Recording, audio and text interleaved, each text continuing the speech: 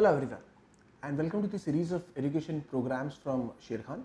Today uh, in this series we are going to be talking about candlestick charts. So let's let's talk about how do we enlighten our trading with candlestick patterns. So in this first half we are going to be discussing about various types of uh, candlesticks and its analogies and various terminologies which are used and in the second video which will be followed up by this we will be talking about some important candlestick patterns. So what we are going to be learning at the end of today's video, we are going to be looking at introduction to candlestick charts. We are looking at anatomy of a candlestick as to how a can candlestick is uh, kind of developed and then we will also discuss some important uh, terminologies in terms of candlestick psychology. So let's talk about introduction to candlesticks friends. As we all know that it's a Japanese technique, that's why they are also called as uh, Japanese candlesticks as well and it was invented in Japan few hundreds of years back. It's one of the ancient technical analysis technique I would say. It, it said that uh, it has been invented by someone called as uh, Mr. Munehisa Homma and he started trading in commodity uh, by using candlestick charts.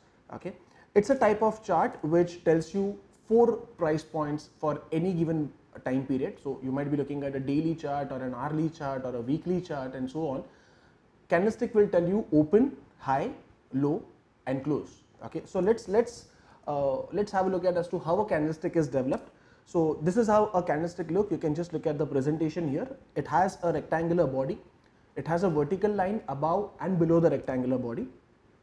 At one end of the rectangular body you will have the open price at extreme ends on the highest end you will have the highest price and the lowest end you would have the lowest price okay and on the other end of the rectangular body you would have the close price. Now this rectangular body uh, what they say is this is the real essence of the price action and that's called as the real body okay whereas the vertical lines you know above and below the uh, rectangular bodies are called as either shadows or tails or even wicks. So the line above the rectangular body will be called as upper shadow and the line below the rectangular body will be called as lower shadow as you can see it on the picture. Now these are called as emotional extremes. So real body is the main important thing and the candlestick gets its color based on where the prices have closed. Okay, so let us now look at as to how, the, how, how a candlestick gets a color for it. So let us say prices opened uh, on a particular day for a stock at 100 rupees and over a period of time bulls gained some power and at the end of the day prices closed at 110 during the day they created a high at somewhere around say 112 rupees and the low of say 98 rupees. Since close price is more than the open price it shows that bulls were in control and that bullishness is shown with the help of a green color candle. So that's how a green color candle will happen when a close price is above the opening price for that particular time period. As I've said earlier, needless to mention this, it can be a daily chart or a weekly chart or an hourly chart, doesn't matter. Now exactly opposite of this, if prices open at 100 rupees and then they close down at say 90 rupees which shows that the bears are in control, that bearishness is shown with the help of a red color candle. So that's how a green color candle and a red color candle will only depend upon where the close price is as compared to the open price and that's why open and close prices both put together which is the rectangular body as I told you is called as the essence of the price action and that's why it's called as the real body as well. Now there is one other type of a typical uh, uh, typical candlestick uh, pattern or I would say a candlestick uh, anatomy which is called as a doji candle where it, what happens is you can just see this presentation on uh, your screen right now. Prices open at say 100 bulls take the control. They go up to 105 then bears come into the picture. They put it down back to 95 but at the close they close where they opened at 100 rupees. So when your open and close price are exactly similar to each other or i would say identical to each other okay you get a candlestick which is somewhere like a cross sign and that candlestick is called as a doji candle which is nothing else but shows you an indecision. It says that buyers and sellers both were fighting for uh, the price action to be on their favor but at the end no one won and it's a kind of complete indecision for the price action. So that's what uh, a doji candle is. Now let's let's end this particular video by looking at some important psychological aspects of a candlestick friends and that's why I think it's one of the most popular techniques or most popular type of charts which traders use for uh, taking their trades. First thing is it allows you to draw out the story. Now for understanding anything, if it's if it's bullish or bearish, if it's going to go up or going to go down, what we try to understand is whether there is a high buying pressure or high selling pressure, isn't it? And candlesticks indirectly, you know, tell you that. So this is how the candlestick is. You can see the presentation here. This is a green color candlestick, which, which means the close is above the open price. Okay. If I have to tell you that candlesticks tell you the buying and the selling pressure for the candle, it's very simple. The difference from its high to the close price is the amount of selling pressure because if this would not have been there, prices would have closed at its high itself. And opposite to that, the distance from its low to the close price is the amount of buying pressure. And as you can see on this particular uh, candle here, the buying pressure is much, much, much more than the selling pressure and that's why it's a bullish candle. And this is not only because the candle is green, this can also show you irrespective of the size of the candle, irrespective of the color of the candle, you will be able to draw the story as to who were the winners, were the buyers in control for that candlestick or the sellers were in control. And I believe this is one of the most important points for a trader friends because this allows you to understand whether it's a bullish candle or a bearish candle.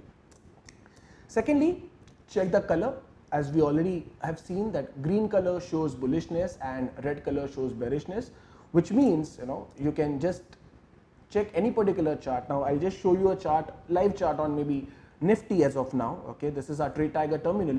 So you can see that when the prices are going up here, you would see a lot more green candles in picture.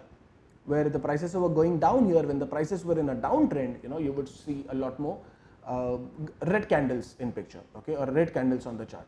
So green candles in an uptrend tells you that the bulls are in control and on the other side of it, if the red candles are more, then when the prices are going down, it tells you that the sellers or the bears are in control. Then size does matter. Now, when we talk about the size of a candle, we don't talk about the entire candle from its you know high to its low.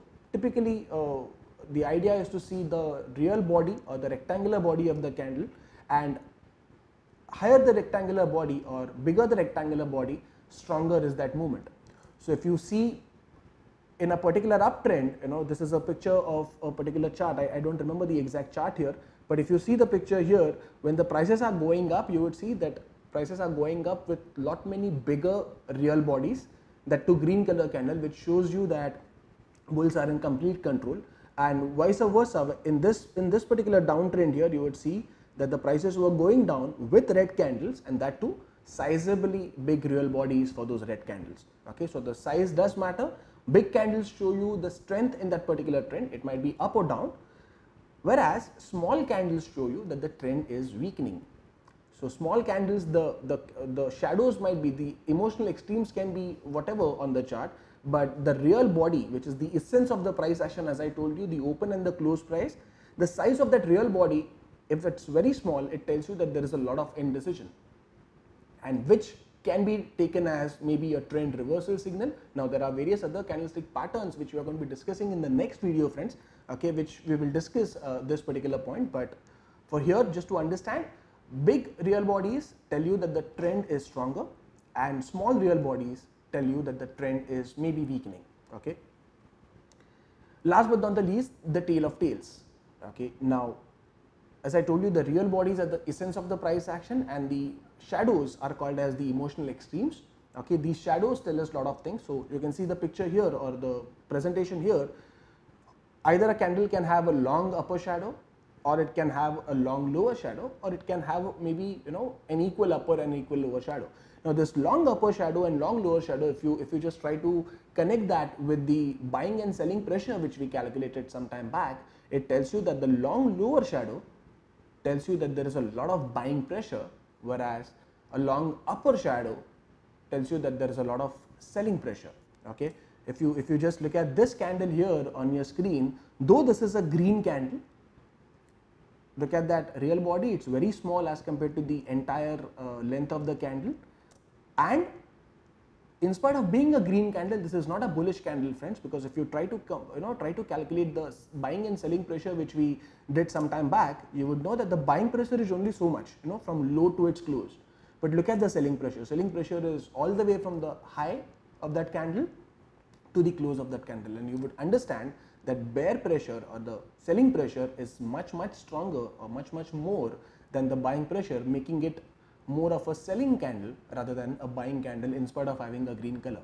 So basis all these four factors friends you know uh, the color the size and uh, the tail of tails as we uh, as we uh, seen today in the next video we are going to be discussing some important candlestick patterns which can be used by traders for taking their trades irrespective of the time frame and asset classes now if you have any questions you can uh, feel free to put them in our question box in the comment box rather and we will get back to you now this is not all about candlestick friends and if you want to know in detail about it you can always go through our Sharekhan classroom videos these are completely free for Sharekhan customers okay and you can watch the entire video and enlighten your trading with candlestick charts and you can attend our positional trading module for knowing more about it. You will find the comment section, I mean you will find the link for Sharekhan classroom in the comment section below. See you in the next module or next video for the candlestick patterns, important candlestick patterns for traders. Okay, till then is bye from Hrishikesh. Bye bye and take care. All the very best for your trading. Thank you so much.